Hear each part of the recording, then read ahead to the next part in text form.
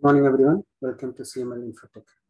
Today, we're talking about inter-VLAN routing, VLAN configuration. What is the use of routing? How we can do uh, inter-VLAN communication from CCNA, day nine.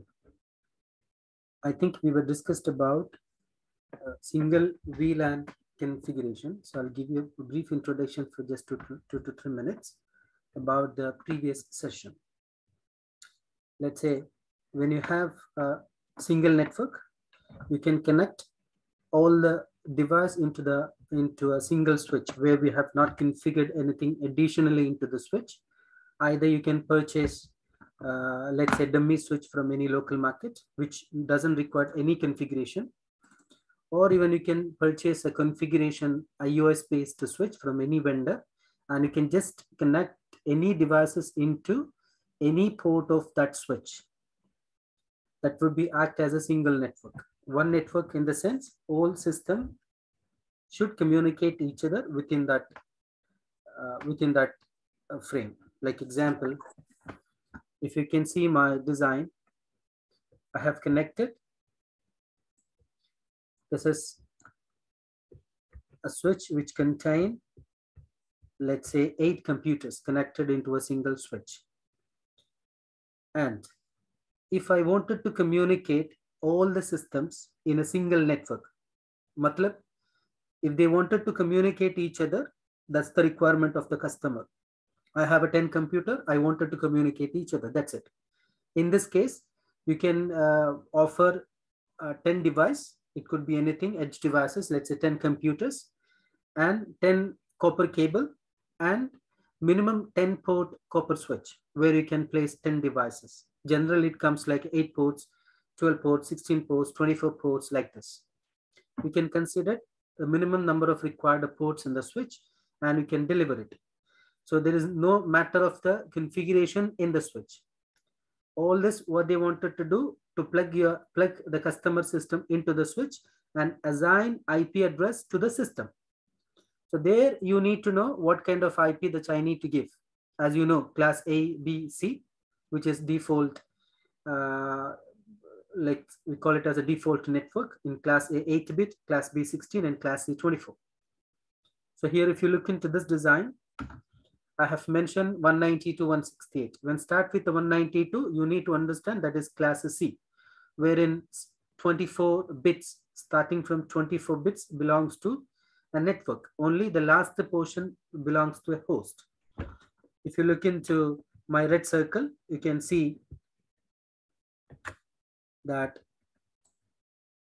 190 to 168.10, a PC2 190 to 168.10, PC3 190 to 168.10. So these three, because of class C, the first three octet must be matched. And the last octet, I could give one, two, three, four, anything up to 254. Okay. So here in this design, what is my minimum requirement?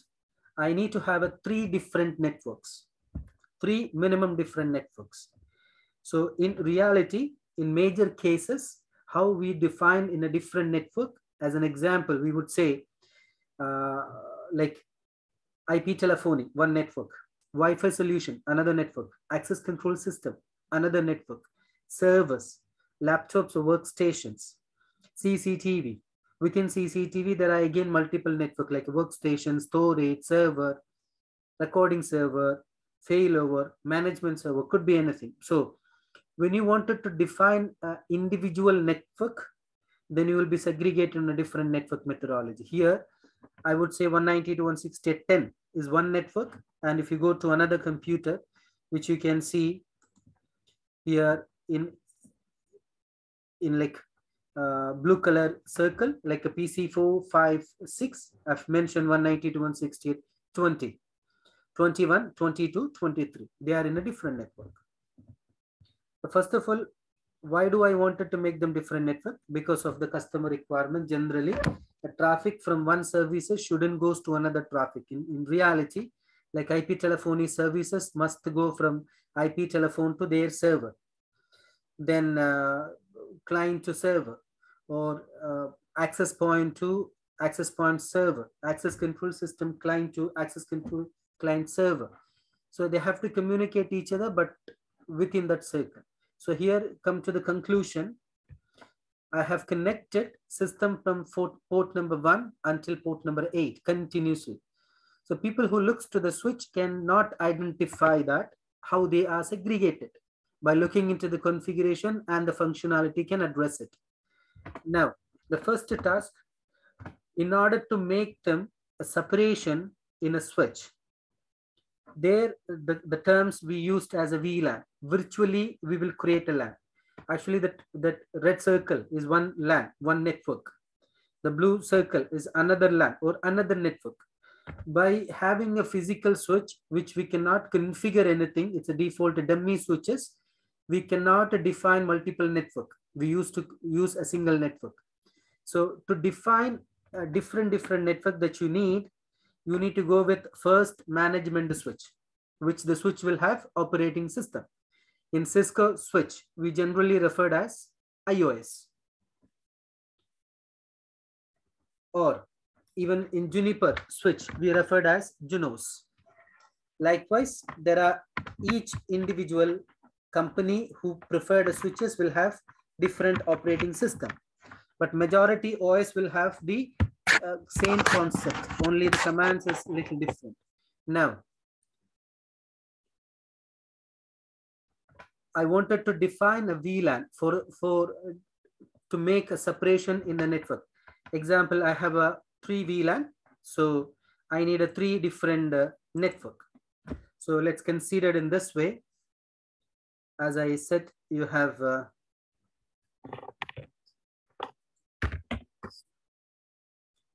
we have a single switch and one, two, three, four, five, six. These are the port number of the switch, seven, eight.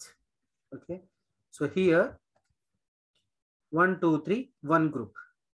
Four, five, six, another network. Seven, eight, another network. So in the manageable switch, in the unmanageable switch, you cannot think about uh, making a separation or a group. Okay. Only when it comes to know that you need a different network, then you need a manageable switch. How we can define a different network in one manageable switch? That is the term we call it as VLAN, virtual LAN. By default, when you procure any vendor switch and when you unbox and when you connect it, all the available ports in that switch belongs to a single network, which is called VLAN 1 or default VLAN. We cannot edit, delete, remove, we can't do anything.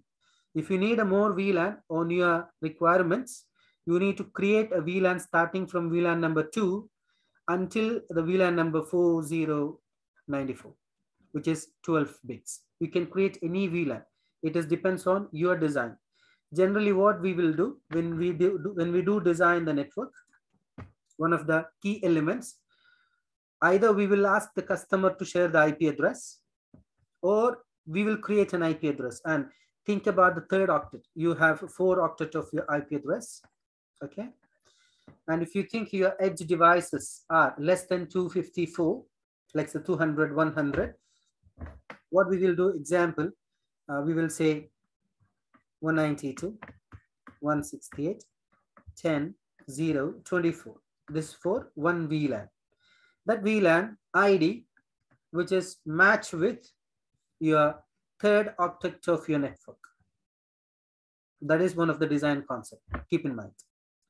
The other VLAN, which is the third octet, must be matched with your next VLAN ID. The way it will go on. If you look into our design, we will design in this way. Like you can say VLAN 10. The third octet of your subnet is 10. And if you look into VLAN 20 or your third octet of your network is 20. Therefore, we defined a VLAN 20. And your uh, the department of sales, the 30 VLAN ID would be matched with your network address of 30, which is the third octet of your network. And when you configure a VLAN, the VLAN ID is mandatory and the VLAN name is optional. If you didn't define the VLAN name, your VLAN ID will be appeared as your VLAN name. But for you or for us to understand this VLAN is specifically used for this particular purpose. We used to give a VLAN name. Example, you know, when we design the services required like uh, we need a Wi-Fi network. We need, a, even though within Wi-Fi, we need a management network. We need a guest uh, SSID. We need a corp SSID, or we need uh, many services. The service name we referred as a VLAN name.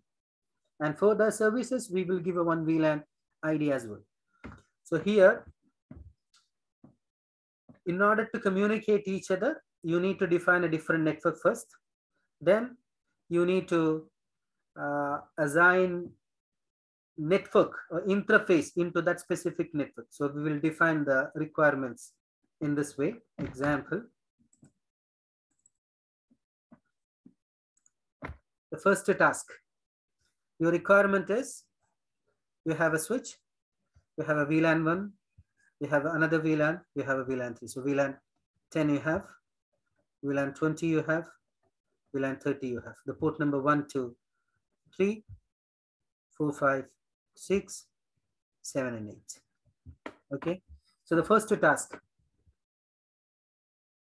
Of course, you need to define a host name. Depends upon the required, uh, the naming convention.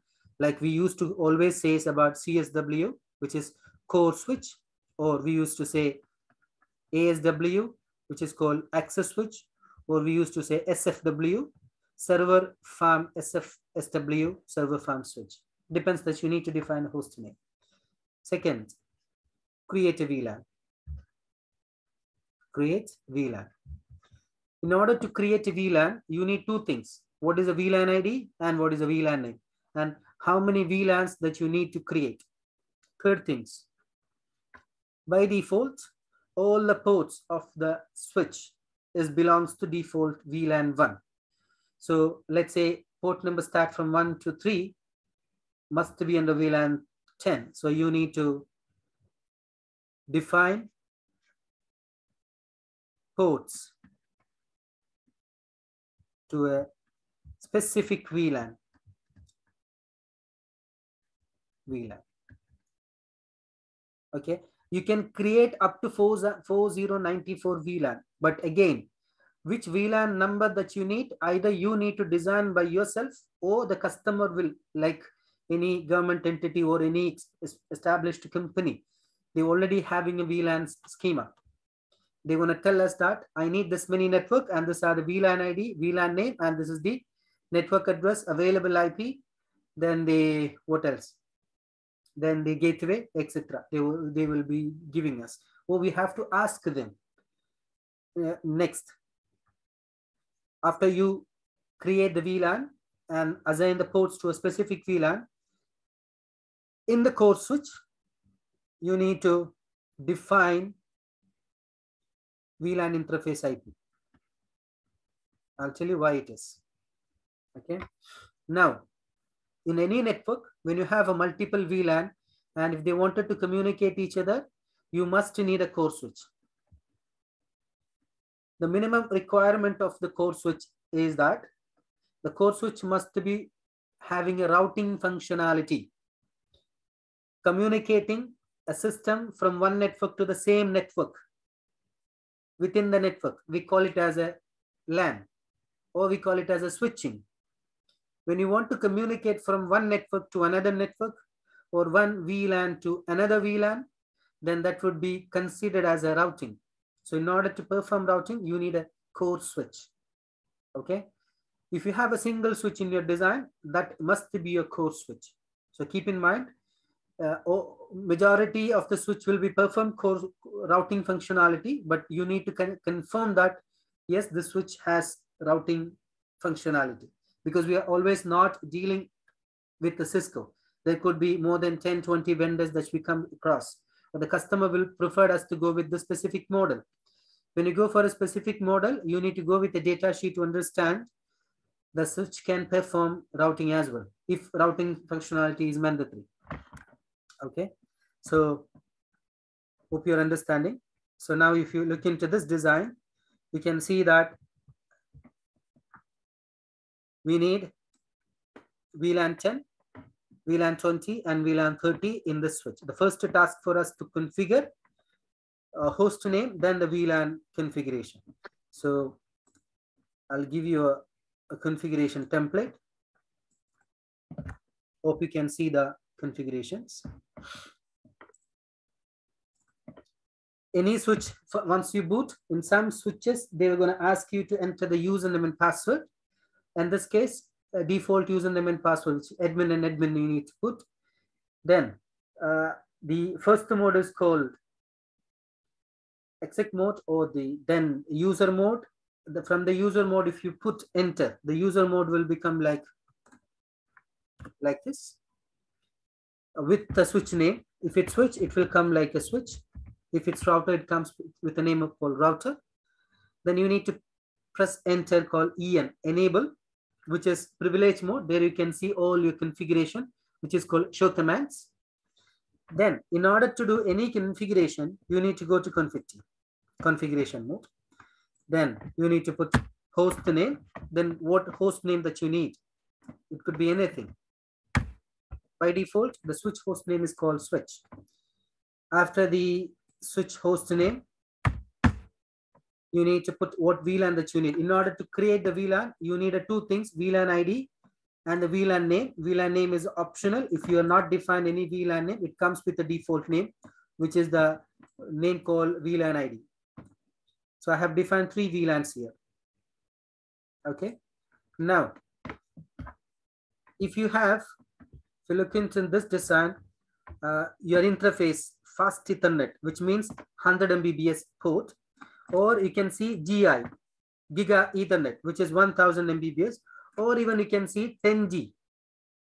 Instead of fast Ethernet, you can see 10G 0 slash 1, which is 10,000 Mbps. If you look into this design, the first three ports, F01, F02, and F03 of the switch belongs to VLAN 10. So either we can go with a single statement by defining like interface range f0 slash 1 hyphen 3. In a single statement, you can configure all. Why I define an individually, you can see an additional command called description. The description is very important for any implementation. The reason for that, like after the implementation, later if a port is down, or the port is not working, you need to check the specific, specific port is connected to on which server, which product, which services. Like we, we would be handing over in the form of like UAT, user acceptance test, or uh, handover document or checklist in, in a various name, we are submitting the final documents to the customer where we defined this interface is used to uh, this purpose. But, but for an IT admin, it is one of the easy way. It, of course, they should have uh, access to the switch. When, you, when they access the switch, they can go to that specific, if let's say a customer is reporting, my port number one is not working. So they can log into the port number one and by having description, they can understand that is connected to where. So this you can give anything. Depends upon the easiest way of understand. Like you can say that connected to uh, nic1 of the pc1 so you can simply say that this port is you go and check the pc1 where it is and maybe the port is unplugged or loose from the backside of the system connect it again. So this description will very very much helpful for us to troubleshoot okay so it's mandatory then this command switch port mode access. As you know, in every switch, the port of the switch will be acted act in a two manner. The switch, either the switch port, you're gonna connect any edge devices. It could be telephone, access point, Wi-Fi, it could be anything. When you connect, like we call it as a downlink, okay? or we can call connected to edge devices. When you connect it to any edge devices, this port will be carry only one VLAN info. Okay. The same port, if I remove a system or any edge devices connected to another switch. Okay. This port will act to carry multiple VLANs. And even we can block the unknown or not required VLANs on a port basis. But by default, if I connected that specific port into another switch, this port will be carry more than one VLANs automatically. When it's carry more than one VLAN, that port is called as a trunk port. Okay. When it is connect to any edge devices and they started performing by single VLAN communication, we call it as access port. So if you're not defining whether it is access or whether it is trunk, still it will work. But as a hacker, if he joined to the company and by do by malfunctioning or by DOD, like uh, man in the middle attack, there are many. Based on certain applications, uh, a person laptop where a user is connected to this port, this employee by doing some forceful uh, commands, a forceful like message to the port telling that this side is I am a trunk. So this port is automatically become a trunk. So that will be the benefit or the beauty of the trunk port will allow all the informations. So someone else who's sending to somewhere, if it's trunk port, it will also carry through this way. Okay. So to avoid this, to avoid this, if some forgery or some malfunctioning or some untrusted traffic arrived to a port, the port shouldn't able to detect. In this case, we have to by manually define the port must be what? Access port or trunk port. Okay, hope you understood. If I have not defined access or trunk, the port will be auto negotiable to the other side. If this side says I'm a trunk, this will be auto negotiable to trunk. Instead, we, we manually define whether it is access or trunk. We'll talk about trunk later because when, when it comes to the trunking concept, there is again a protocol based and the protocol must be matched in order for the uh, two-way negotiation between them. So here, uh, give me a second, please.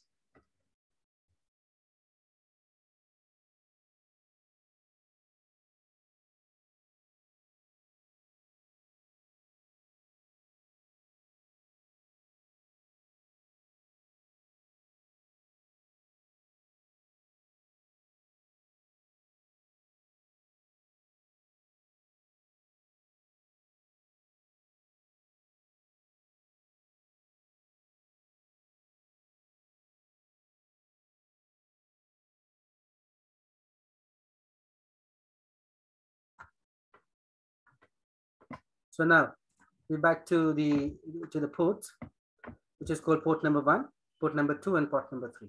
So if you look into this, all three ports belongs to VLAN 10, but by default, all the ports are belongs to VLAN 1. So what you need to do, which port that you wanted to move from VLAN 1, you can directly define the new VLAN details. Like switch port access VLAN 10, it will go from by default VLAN 1 to VLAN 10. Same way, you can see the port number 4, 5, and 6, which is under VLAN 20. And I put the description like port number 4 by physically connected to PC4, and this is the IP.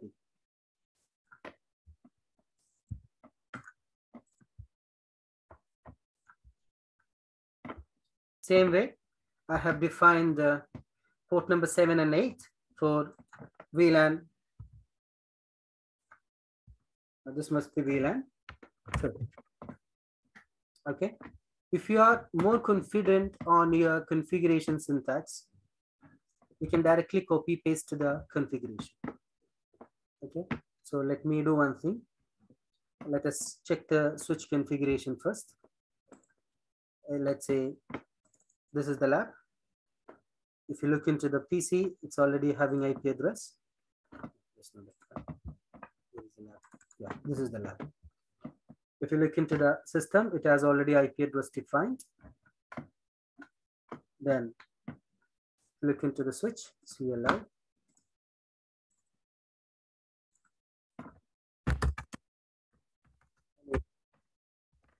So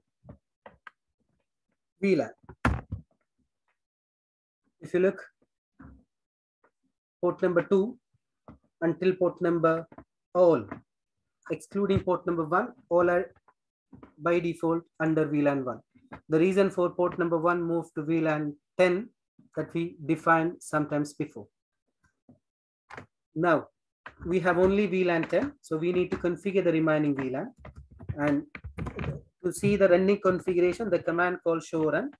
If you enter show run, you can see only port number 1 that I defined in VLAN 10 and the rest of the port there is no configuration which means this port is belongs to VLAN 1 by default. So let me take the configuration copy. Okay, so here from enable, I'll, I'll copy until until port number eight, copy. Now we'll go to switch configuration. This is switch configuration. Either you can right click and paste or you can you will have a paste in this corner. Yeah. Now you can see the configuration we have already applied. So you can see enable config t host name, then VLAN 10, VLAN 20, VLAN 30. So three VLANs has been configured. Okay, then port number one, two, three, four, five. In, in, in reality, majority of the cases, we will never uh, take a time for typing by manually. We do in, in uh, uh, Notepad or Notepad++ and we'll paste it. So that's easy. If you are uh, completely aware about the configuration in the Notepad. So let us say do write.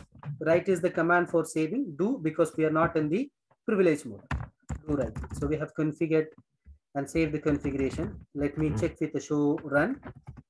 You can see here the port number one, two, three, four until port number eight. We have configured. Then you can go with the show VLAN command to see that port number one, two, three belongs to VLAN 10, where those port is moved from VLAN 1. So port number 1 to 8 has been segregated between 10, 20, 30 so the port number nine, which is remains same in the VLAN one. Hope you understood. So this is the way that we created a VLAN and assigning a ports into a VLAN. Now, let me uh, try communicating between systems. Let's say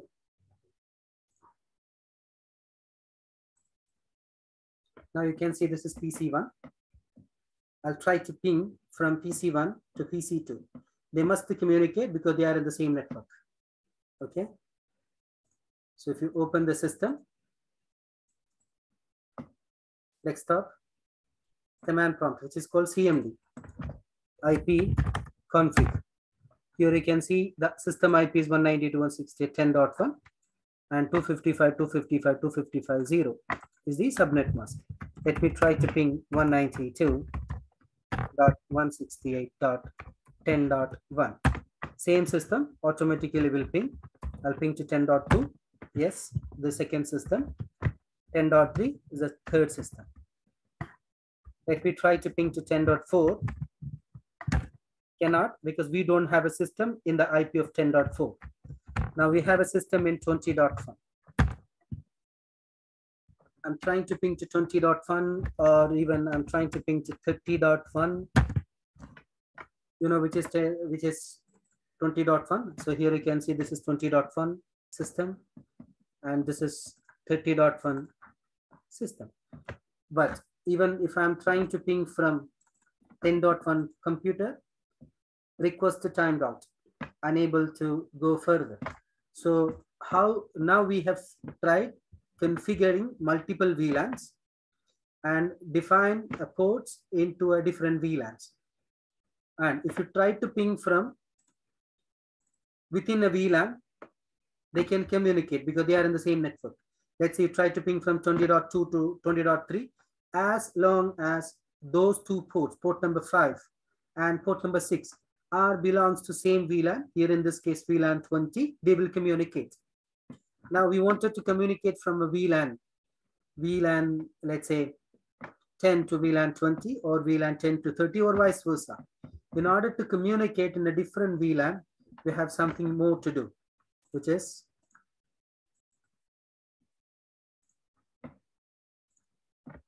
so let's say intra-VLAN routing.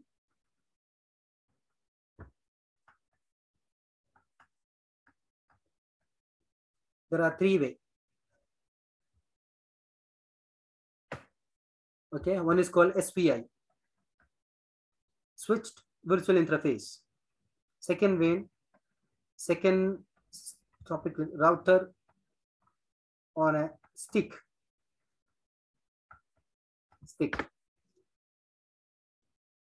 Third one, routed port. Routed port.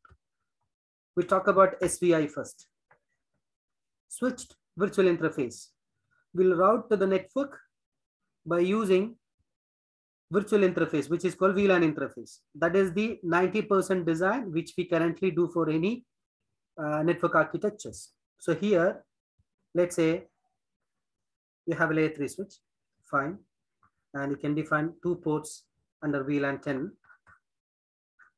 Okay. And two ports in VLAN 20, which is uh, 1, 2, 3, 4, 5. Now, this system IP 192.168.10.1. This system IP 192.168.20.1. In order to communicate them, the 10.1, when a traffic coming from one device, which is not into the same network, the traffic will goes to the gateway. That's called outgoing interface, gateway. So we need to define into the system which is my gateway IP. Generally, that IP, either the first IP or last IP of that network. Here, I have defined 10.254 is the gateway for this computer. So when a traffic from one computer like this computer, which is not into the same network, they will look, this system will look into their gateway. When a system not into the same network, that system will look into their gateway, which I defined 10.255 in this case.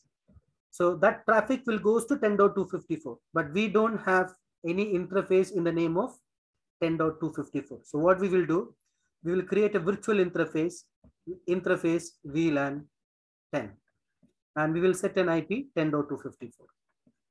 Same way, if the traffic needs to go to another network, this device will be forward that traffic to another VLAN, which is called interface VLAN 20.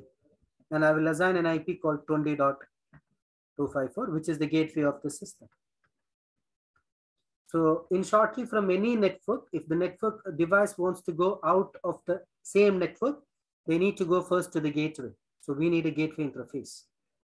So here, what are we doing?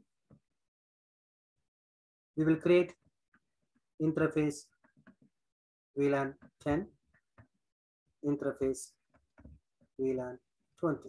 This IP 192.168.10 dot sorry 20.254. This is 192.168.10.254. And any system within this VLAN 10 will set the gateway IP which is 10.254. So traffic outside the network from VLAN 10 system will goes to here. Same way, here system under VLAN 20, which we need to define by manually to the system that what's the gateway. The gateway is 20.254.